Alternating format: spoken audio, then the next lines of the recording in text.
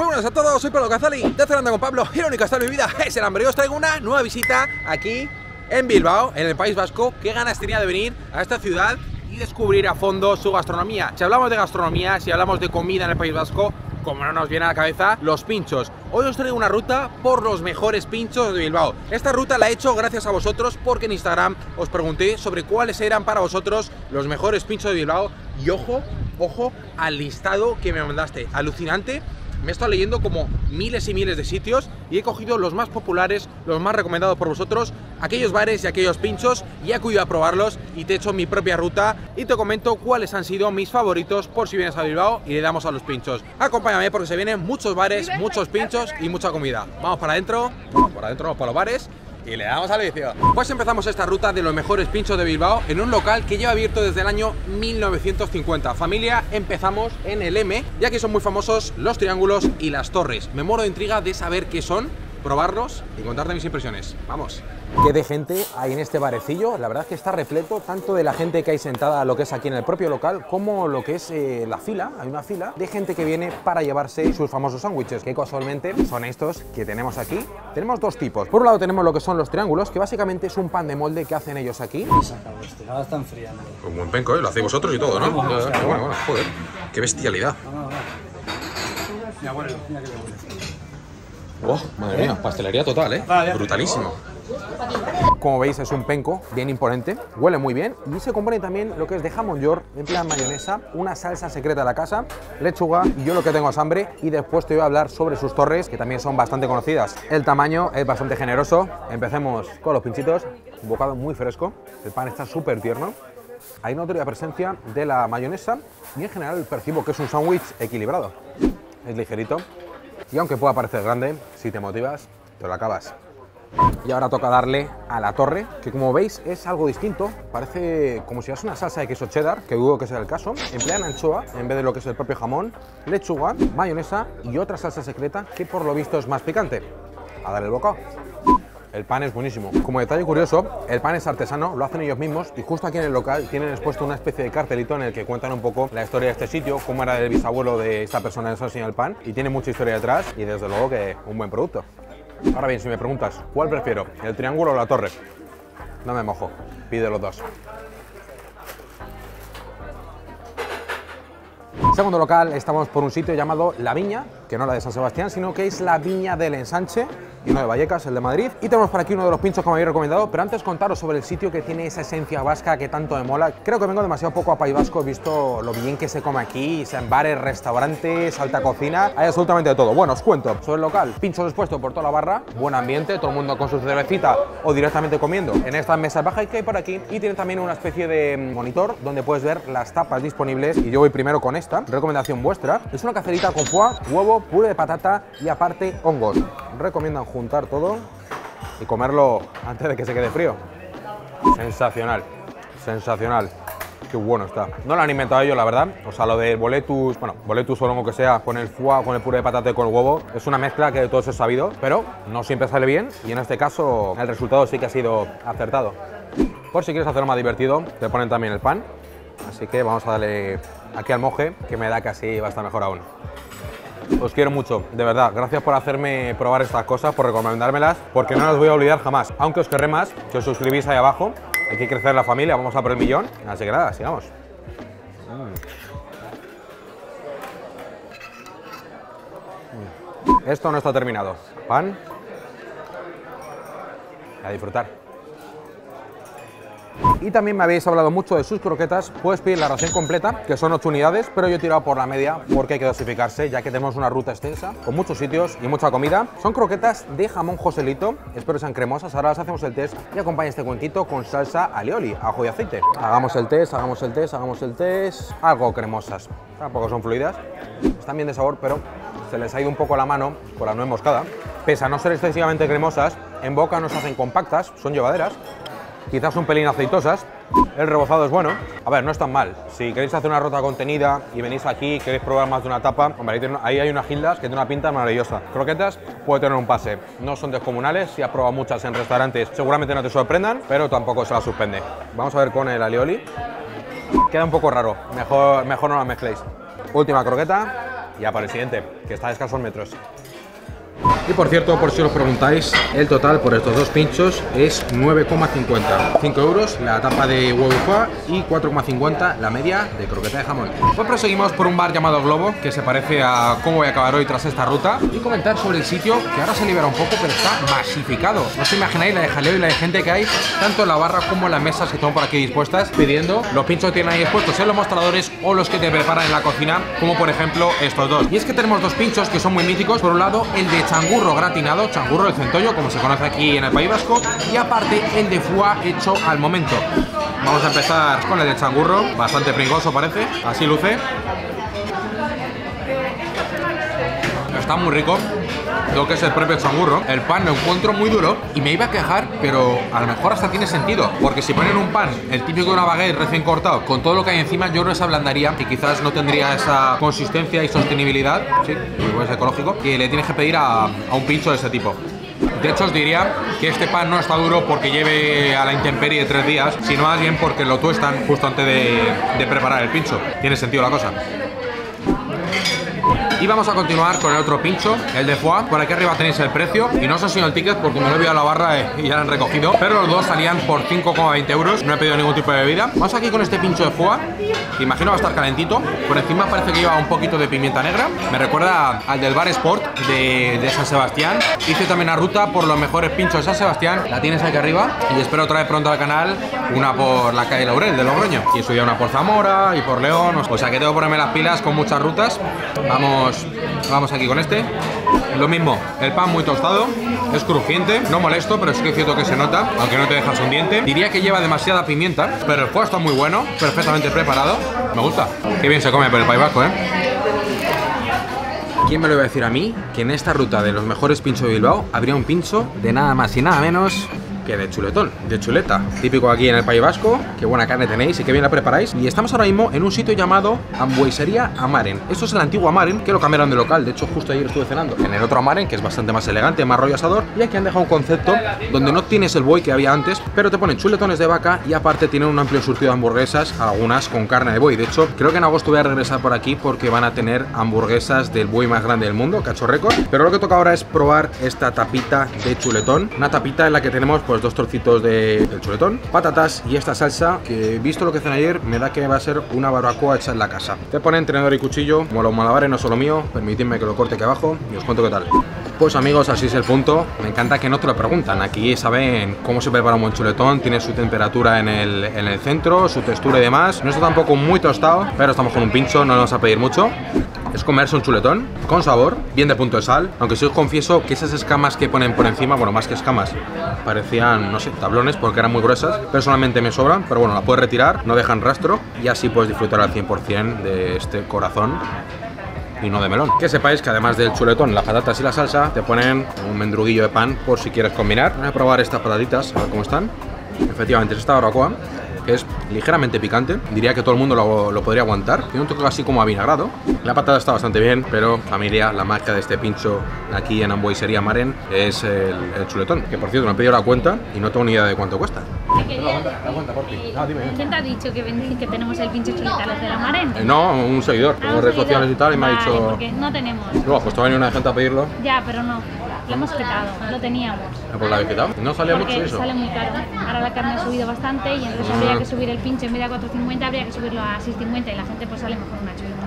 Pero ¿y si alguien quiere tomar algo más casual, rollo un pincho y luego irse? Eh, pincho burger tenemos. Nosotros ahora somos la hamburguesería. Ya, ya, sí, lo sé, eso me han Solo contado. trabajamos lo que es la carne de buey en hamburguesa. Pero me refiero que a lo mejor a la gente que no quiere sentarse a comerse una chuleta y si pica algo rápido, tipo como esto.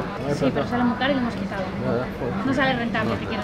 Visto, no visto. Vale, vale, vale, perfecto. Tenemos- Y el de hamburguesa, que es una eso mini hamburguesilla, con la que tienes allí. Eso sí que no lo pide mucha gente. Sacan al momento. Son pinchos calientes. Digo, porque no nos hace publicidad de algo que no Sí, tenemos. bueno, pues creo que para que se ríe echen una risa. No pasa nada, muchas gracias. Bueno, pues, habéis oído que está muy bueno, pues deja de existir. Pero amigos, ante problemas soluciones porque me han sacado esa mini hamburguesa que acaba de comentarnos la compañera. Y habrá que ver qué tal está. Comentaros sobre sus componentes, qué tiene esta mini burger. Tenemos pan brioche, pan brioche con una semillita de sésamo, la carne es de buey, desconozco el gramaje, emplean también cebolla caramelizada y le ponen una salsa de miel y mostaza, me han prometido un toque suave. Y el punto no lo preguntan, lo hacen a la brasa, la verdad es que tiene muy buen aspecto. Y veamos a qué sabe este buey. No quiero manchar el suelo. La leche, como sabe, ¿eh? Aparte, lo que es la carne tiene muy buen picado, algo de agradecer por la textura que vas a encontrar en boca. Muy bien condimentada, se nota ese toque a brasa. Joder, yo soy un hamburguesero y para esto solo tengo buenas palabras. El de chuletón es el de chuletón, pero desde luego si queréis probar una buena carne, que sepáis que en esta ruta de los mejores pinchos de Bilbao, lo hemos metido una. No te muevas, que queda más. Y ya que estamos, suscríbete. Desde luego que esta ruta de pinchos en Bilbao está siendo la ruta de las anécdotas. Ha habido un sitio que he ido el primero, donde ha habido un percance. Cuando vayamos a ese lugar os contaré qué ha sido. Nos ha pasado el pincho chuletón y ahora estoy en un sitio llamado el Chinchirri, que es muy famoso por sus tortillas de patatas, pero como pasa con todas esas tortillas de patatas tan famosas por España, vuelan. Y efectivamente, amigos, ese ha sido. Acabo de pedir un pincho y me ha dicho que no, que hasta las seis y media nada, y son las 4 menos 10. Y yo quiero seguir comiendo, así que esto lo voy a dejar para que acudáis vosotros y me contéis qué tal en comentarios, si ya lo conocéis, y si mola, pues ya vendrá algún día y grabo un vídeo o lo cuento por Instagram. Me ha dicho el chico, que le he preguntado ya un poco por curiosidad para que lo sepáis vosotros y no cometáis mi error, cómo funciona el tema de las tortillas, y por lo visto preparan 40 a las 10 de la mañana hasta que se acaban, y luego a las 6 y media le meten otro batido, otra oleada. Así que nada, madrugáis, un, bueno, madrugáis os levantáis relativamente pronto, un buen desayuno y me dais envidia. Sigamos. El pincho que toca no es uno cualquiera, es un pincho galardonado, el que ha sido calificado como mejor pincho de Bilbao este año 2022. Un pincho muy original, tiene su historia, pero antes voy a contar la mía propia. La mía propia que es que este era el primer bar de la ruta que iba a visitar y cuando he acudido a la una y media del mediodía, resulta que pido el pincho y no quedaba tampoco. Otro que estaba agotado y resulta que lo mismo, lo preparan por la mañana, preparan, no sé si me han dicho antes, 7 o 8 tortillas y los pinchos lógicamente vuelan. Afortunadamente han preparado otra tortilla, me he ido a visitar otros bares y cuando he vuelto, gracias a Dios, me han guardado este pincho y es el último que queda. O sea, tortilla que preparan, tortilla que vuela. Y eso que no veo tampoco aquí mucha gente, pero bueno, que se acaba. Así que nada, madrugad si queréis probarlo. Si queréis probar el qué, tenemos un pincho que es una reversión del mítico sándwich mixto. Lo hacen a partir de una tortilla, tiene una capita en la que está jamón york, por encima queso abarti y huevo frito. Es una mezcla curiosa y me intriga mucho. Estoy viendo que lleva aquí, lleva ahí una, lo que es el huevo con su yemita, que si no me equivoco, a ver un momento, a ver. ¡Guau! Dios, qué buena, ¿eh? Aquí hay chorreo del bueno. Vamos a probarlo, a ver cómo está. La tortillita, el huevo frito, el queso abarti y el jamón york. Lo es. Es un sándwich mixto con la tortilla. Me ha venido un toque de sal, quizás algo excesivo. La patata está deliciosa. O sea, te la metes a la boca y en cuestión de segundos desaparece de lo blandita que está. Se deshace con mucha facilidad. El huevo frito me recuerda a un buen huevo frito, de los que te puedes comer en el desayuno y con la llama mejor aún. La verdad es que es un pincho muy dinámico, es una idea por la que les aplaudo, desde luego que está bien ideado. Si han ganado el premio, pues será porque han hecho un buen trabajo. No lo voy a comer con pan más que nada porque no quiero reventar, nos quedan aún alguna que otra parada, pero bueno, que sepáis que viene incluido y desde luego que es un pincho que cuenta con la prueba de cenando con Pablo, así que nada, otro más que tenéis que visitar. Viva Bilbao, viva el País Vasco y viva la buena comida. Por cierto, aquí no sobra nada. Esta ruta de pinchos por Bilbao parece no terminar. Estoy ahora mismo en el lugar más recomendado por vosotros. El sitio que más veces me ha dicho Pablo, ves aquí a probar sus pinchos. Y os hablo de Café Estoril. Café Estoril que se caracteriza por esa imponente barra, barra donde tienen una especie como de urnita de cristal, con unos cuantos pinchos, donde puedes pedir, por ejemplo, este pincho de tortilla con chorizo o puedes encargar de su cocina este de foie con compote de manzana y pan de pasas y nueces. Probemos y veamos si estos pinchos tan recomendados son para tanto. Bueno, pues por aquí este montadito, mi bocadillo, tortilla con chorizo. A ver, vamos a hablar con propiedad. Esto no es tortilla con chorizo, es tortilla con chistorra, sí, señor. La de aquí, la del País Vasco, sabe tal cual. O sea, sabe a la chistorra, está muy presente en el bocado. El pan está correcto, esto no me lo acaban de hacer, lleva tiempo ya ahí. Y tampoco se ha resentido mucho el producto. Escurridizo sí es, al igual que sucede con la misma chistorra, cuando la comes eres plenamente consciente de que no es una cosa ligera para el estómago, que en mi caso voy yo un poco perjudicado de todo lo que nos hemos ido metiendo, pero bueno, diría es un pincho que está bueno y desde luego tiene esencia vasca. Y vamos con este recomendado pincho de foie, pincho de foie que lleva encima, no me digas que es una escama de sal. Bueno, viene por debajo una compotita de manzana. Vamos a probar, a ver qué tal esta mezcla. A ver si no se me ha quedado frío el foie del tanto tiempo que me tomo entre pincho y pincho. No plato y plato, pincho y pincho. Efectivamente, escama de sal. Llamarlo manía mía, pero no, no la veo el sentido. Con todos los respetos para el café Estoril y la persona que, que me esté viendo y le encanta el pincho, yo te pueda sentir enojado pero mm, comerse un pincho con tanta sal por encima es como cuando estás bañándote en el mar y tragas agua. No le veo el sentido. Y me pasa en un pincho o cuando pido un chuletón y te traen la pieza ahí bien trinchadita y te ponen toda la sal por encima. No tiene ni pie ni cabeza. Obviando ese pequeño detalle, tenemos un foie que está rico, combina bien con la, con la compota de manzana, de lo que es una cosa que no la acaban de inventar, que, existe, funciona. Ah, guay. Vamos con este pan. Toca la mezcla. Mm. Desde luego que si pones el pan, el foie y la manzana, la mezcla es acertada. Por cierto, que sepáis que si estoy aquí la mano, tenemos el ticket de la cuenta, que exactamente estos dos pinchos salen por 6,95. Tenemos por un lado 2,20 el de la tortilla con chorizo, con chistorra, y el de foie nos sale por 4,75. Un sitio más, vamos a por otro. Vengas a la hora que vengas, a los pares de Bilbao, siempre hay ambiente. De hecho, ahora mismo son las 6 y cuarto de la tarde, o sea, tú un vídeo de unos 20-30 minutos, pero en el fondo hay más y más y más y más. Y como veis, hay gente ahí pidiendo. Yo me encuentro una sorpresa venir en este sitio que se llama...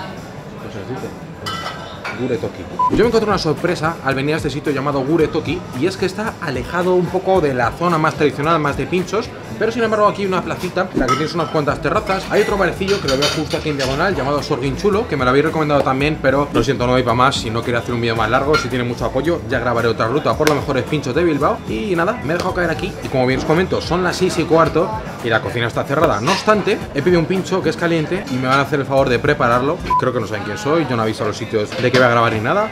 O sea que chapó por ellos, por el gesto que han tenido. Agradecido. Y además, no puede faltar en esta ruta el dulce. Vamos a probar un pincho caliente y después vienen dos postres. Nada más y nada menos que dos postres. Y os cuento mis favoritos de la ruta de hoy. Pincho, pan, cubiertos. Seguimos comiendo. Vamos a por este pincho caliente y después llega el postre. ¿Qué tenemos aquí? Tenemos un cangrejo en tempura. Exactamente es un cangrejo de concha blanda. En inglés soft shell crab, una cosa que sé, por tengo que decir. Y es un cangrejo que se caracteriza porque se puede comer íntegramente. O sea, en teoría puedes comer todo y no dejar nada. Y en la base tiene una salsa de la que el único detalle que me han dicho es que es picante. Y esperemos que así sea. De hecho, me puedo el ansia. Es un sofrito en, de tomate. Qué sensación más rara, porque no pica nada y de repente te hace. Como dirás tú, viendo el vídeo de repente. Suscripción. Hazlo. Bueno, vamos a probar el cangrejillo, este pinchito. Ahora mismo está tranquilo lo que es la sala, pero afuera la terraza está masificada. Bueno, primer bocado prácticamente solo de tempura. Comentar que es una tempura que recuerda a la de las gambas en gabardina. Ahí sí que hemos trincado una de las patas si te ponen el cuchillo, no es porque les apetezca que les ensucies uno y limpiarlo, para que lo uses. Vamos a probar el corazón, que rima con caparazón. A ver en el centro qué tal ese sabor. Está rico, ¿eh? Yo no soy escrupuloso, pero sí que decir que da un poco de yuyu el ver los interiores, pero luego lo pruebas y dices, joder, es que está bueno, ¿qué más da lo que vea? No hay que guiarse un poco por lo que nos dice la vista, sino por lo que sentimos en el paladar. Por eso a los que nos gusta la carne poco hecha, vendado los ojos, comelda, pues charlamos en comentarios. Tiene muchísimo sabor a mar, pero he de decir que ese toque picante es casi inexistente. Solo se notaba. Al mezclarlo nada. Pero bueno, la tempura es acertada y en línea general es un pincho que os podría recomendar. No es perfecto, pero desde luego que estoy comiendo muy pero que muy bien por aquí por Bilbao. Fe de errores. Resulta que el camarero no se ha enterado cuando se lo he dicho y le he dicho, oye, me han dicho de una crema y el de aquí del Gore... No sé, me sitio este, macho, siempre se me olvida. Gure Toki, no sé por qué pongo Gore antes, no sé. En fin, me han recomendado la crema de queso y de aquí del Gure Toki Sí, sí, ¿no? Sí. Bueno, y básicamente es esto. Viene acompañado de huevo codorniz y de hongos. Y también viene por aquí un poquito de maíz. Parece que hay como una especie de canoniguillo. Es un pincho que, a ver, voy a ser sincero.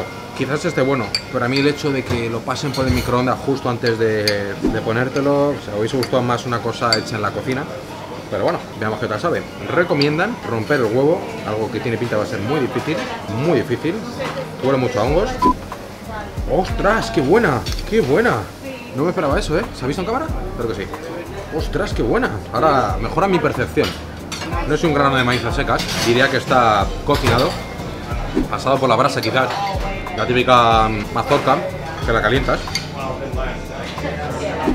La crema es suavecilla, pero preserva la, identidad. Identidad de queso. Esto más que pincho es un pinchín, porque en un periquete te lo has acabado. La verdad es que pese al detalle ese del microondas, deciros que está muy bueno y que se termina así. Pero ¿qué os pensabais? ¿Qué os pensabais que iba a pasar? Que la ruta de pinchos se acaba con un local donde el postre la tarta de queso. Es que no podía fallar a, mi instinto sobrehumano de comer una tarta de queso día sí y día también. Vamos con esta tarta de queso que parece que lamentablemente no tiene base galleta, pero sin embargo, te ponen por aquí por encima una que quizás sea Lotus y si no una integral 100%. Eh, parece así visualmente está del estilo de la viña. Y a ver cuánto sabe a queso y si tiene ese toque dulce que tanto entusiasma. Sonando Fiti Fiti Paldis, a ver si no nos salta el copyright. Qué bueno, qué bueno. Está bueno esto, ¿eh? Joder. Mmm, qué buena la textura, qué jugosa. Tiene jugos del queso y de la mantequilla y de la nata y de todo lo que le hayan puesto y del huevo. Pero está muy bien, ¿eh? Porque hay muchas que son similares, pero saben mucho a huevo. Y esta, sin embargo, noto un equilibrio, está todo compensadito. Mmm. Mmm. Pero muy, muy buena, ¿eh? Os lo digo en serio, ¿eh? No es de estos buenos de, joder, me sirve, que bueno. No, no, bueno el rollo de que si le tengo que poner nota, el 8 y medio se lo lleva, ¿eh? Bueno, 75, que está más cerca del 9. Queda el momento de ver el ticket de la cuenta de este sitio y hacer balance sobre esta ruta y contarte cuáles han sido mis pinchos favoritos. Qué vicio tengo. Y amigos, aquí presente el ticket de la cuenta. Os digo ya de adelanto que no lo voy a abonar. Cuando he ido a pedirlo me ha dicho, no, no, que dice el jefe que te invita Yo agradecido, ventaja de estar con las cámaras. Pero aún así se lo he pedido para enseñaros los precios Que exactamente el total es de 11,55 excluyendo la Coca-Colita. Y se desglosa en este cangrejo con cholanda que sale por 5, la sopa de diazabal 2,60, contenido, aunque la cantidad también. Y por último la tarta de queso 3,95, 4 euros por lo que he comido.